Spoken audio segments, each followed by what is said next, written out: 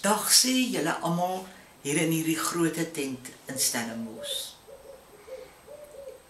Ek is jammer ek kan nie vandag self by julle wees nie, maar ek kan nie. Ek het nou 'n ou vrou geword in 'n rolstoel. Um 4 maande gelede het ek gedink ek sou ooit weer met iemand praat nie. Ek het gedink ek gaan blackjack speel in die hel of harp speel in die hemel. Maar hier is ek, 'n ou battle axe. Ek het vasgehou tot hier toe. Ek wil vir julle ietsie vertel van hoe het katvis ontstaan. My liefste liefsteling Meld Meiburg. My meldhart het toe hy die verhaalredakteur by Vroue Keer was vir my gevra om 'n 5 hoofstuk vervolgverhaal vir hom te skryf wat ek toe gedoen het. En toe die verhaal by hom aankom amper op die sperdatum toe sê hy my hy aanvaar dit nie vir publikasie nie en ek het my byna dood geskrik want dit is dis nie iets wat ek gewoond is nie.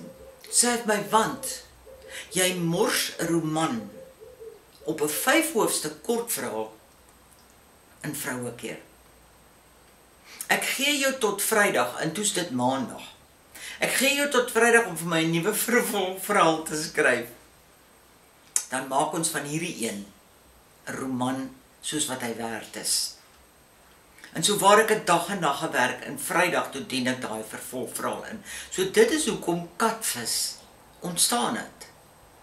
Letterlik te danke aan my meld. Katvis is 'n roman. En mens werk heeltemal anders vir 'n vervolgverhaal vir 'n tydskrif as wat jy vir 'n roman werk. Jy moet jou navorsing doen, jy moet eindeloos baie feite hê.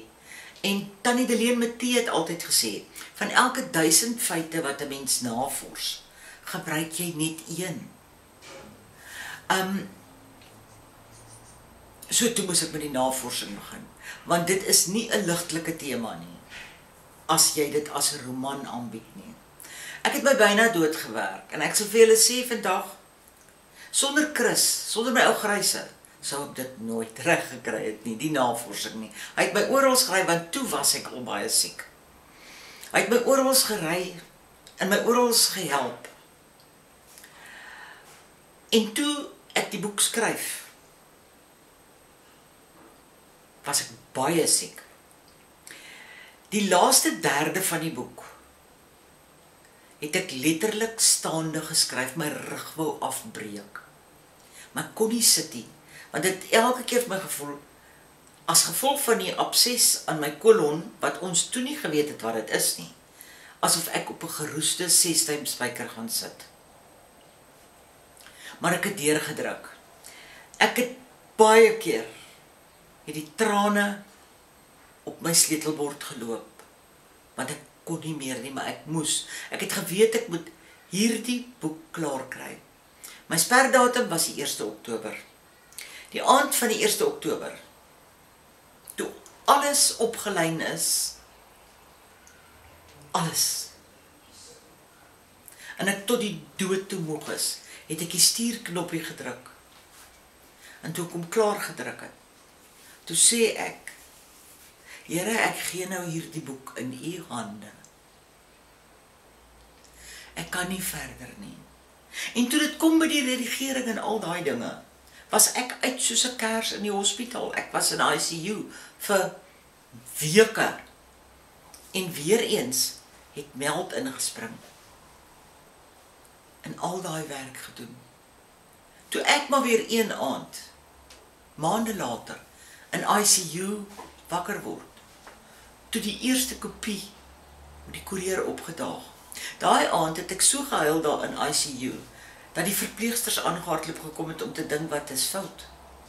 Want Chris en my Rudolf seun het die boek vir my hospitaal toe gebring. Ek het nooit gedink, nooit ek sal die geboorte van daai boek aanskou nie. En toe kom in my hande hou. Het ek geweet ek is nou gereed om dood te gaan. Dit is volbring. Maar dit was toe nie volbring nie. En vandag